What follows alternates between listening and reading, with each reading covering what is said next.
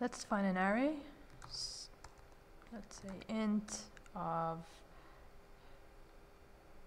ages. It's gonna have four values. I'm gonna open it with curly braces and I have 23, 31, 44, and 52.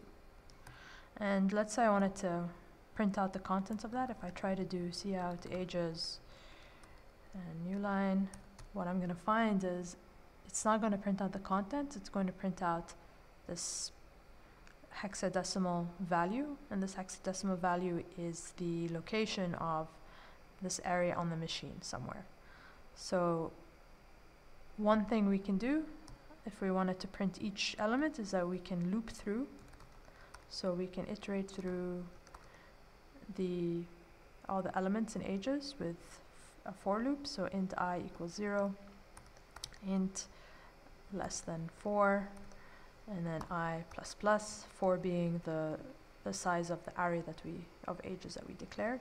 So I'm going to open this with curly braces, close it, cout ages of i. So I'm going to be able to access the elements of ages using this index i. If I run that,